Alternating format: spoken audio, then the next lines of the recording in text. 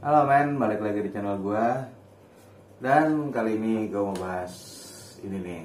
Gigaset SK3 Oke Gimana? Kisahnya? Simak terus saja video ini.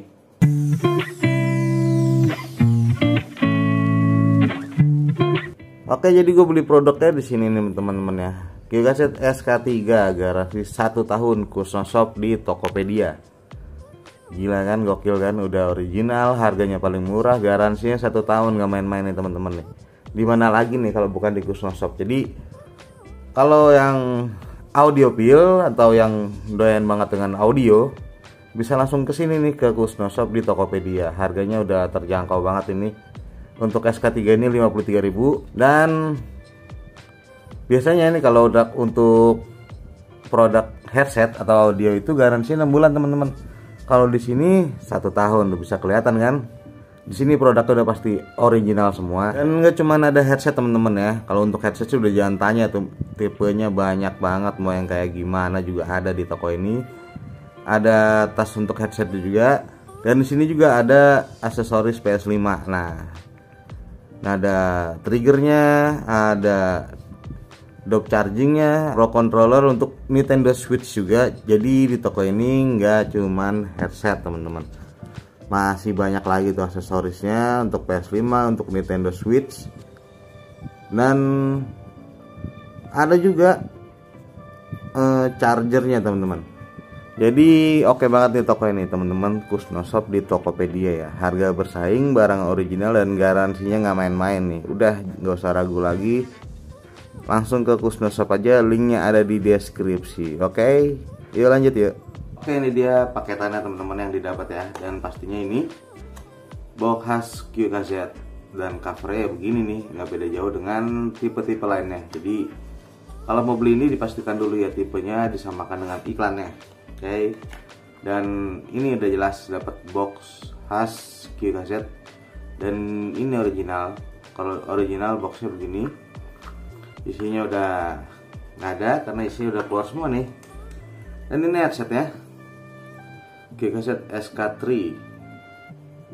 ini dia nanti kita bahasnya detailnya ya. Dan dapet ear tips cadangan dua pasang dan juga jepitan ya. Oke. Dan di sini ada ear hook teman-teman. Kalau udah ada ear hook begini menandakan kalau headsetnya itu adalah tipenya over ear Oke. Oke, kita bahas detailnya ya. Jadi ini dia Kikaset SK3 teman-teman. Begini bentuknya. Ini warnanya macam-macam ya. Semuanya transparan. Oke, ini bagian yang dalamnya biru, bagian luarnya ungu. Dan model begini ini nggak pertama kali Kikaset bikin ya. Ada Kikaset AK6. Nah, begini teman-teman, AK6 udah pernah juga dibahas di channel ini untuk detailnya silahkan diklik aja dan ini kaset SK3 yang beda adalah uh, di sini terdapat ringnya teman-teman ya. Bisa dilihat kan di bawah speaker ini. Nih ada ring warna emas. Ini nggak bisa dicopot ya. Hanya hiasan aja atau pengencang mungkin ya. Ini nggak bisa dicopot kabelnya. Bagian navigasinya ini ada volume control ya di slide atas dan bawah. Ada tombol mic atau tombol untuk angkat telepon dan luang micnya. Dan yang bikin beda lagi uh, colokannya atau jack 3,5 mm nya ini bengkok teman-teman ya. Kalau AK6 kan lurus nih begini tuh ya kan? Bengkok begini justru enak teman-teman. Bisa sambil buat main game nggak nabrak ke jari atau masuk ke sela-sela jari gitu. Yang bikin jari makin jauh ke layar. Oke? okay dan seperti yang gue bilang tadi ini over ear teman-teman ya. Jadi bengkok begini. Nah ini kabelnya bengkok karena di eh, pasang itu melalui belakang telinga. Dan untuk mematenkan itu makanya dikasih ear hook buat cantolan ke telinganya oke? Okay. makanya gampang banget ini ear hooknya transparan ya. Nah di ear hook ini ada selanya teman-teman ya. Bisa dilihat tuh. Ini untuk nyelipin kabel. Untuk yang bagian ke ear hook bisa dilihat ini rata teman-teman ya. Nggak kayak ke bawahnya yang ini bergerigi. Jadi tinggal dimasukin aja kabel ke sini nih. Tapi gue lebih suka kalau bagian yang terbelahnya ini keluar nih teman-teman ya. Uh, entah kenapa lebih kencang aja. Atau um, untuk ke telinganya jadi ke bagian yang halus ini jadi lebih melindungi telinga gitu kan. Nah masangnya begini doang. Begini posisinya jika sudah terpasang earhooknya nah begini teman-teman kalau earhooknya sudah terpasang ya. Jadi nyantal ke kupingnya juga enak. Oke okay, langsung slep. Masuk uh, speakernya langsung ke telinga dan nggak gampang goyang oke? okay. Lalu untuk kualitas suaranya gimana? Yuk kita bahas ke kualitas suaranya. Oke, gimana dengan kualitas suara si Q kaset SK3 ini? Dan seperti biasa gue tes pakai handphone Poco X10 FC pakai playernya itu uh, Mi Music ya dengan terintegrasi dengan Jux. Jadi setelannya bisa di set ke tinggi untuk musiknya. Dan sebagai informasi aja kalau gue ngetes musik atau headset itu uh, setelan HP-nya untuk bagian musiknya itu uh, bawaannya aja teman-teman. Jadi nggak pakai customisasi apa pun untuk equalizernya. Dan untuk ngetes headset ini gue ngetes di lagu Slipknot yang uncentered ya dengan kualitas tinggi teman-teman. Untuk suara yang dihasilkan di lagu Slipknot yang uncentered di Mi Music ini nah di lagu ini tuh distorsinya kerasa banget teman-teman ya antara gitar dan vokal. Detailnya juga ada uh, semua detailnya terdengar dengan jelas.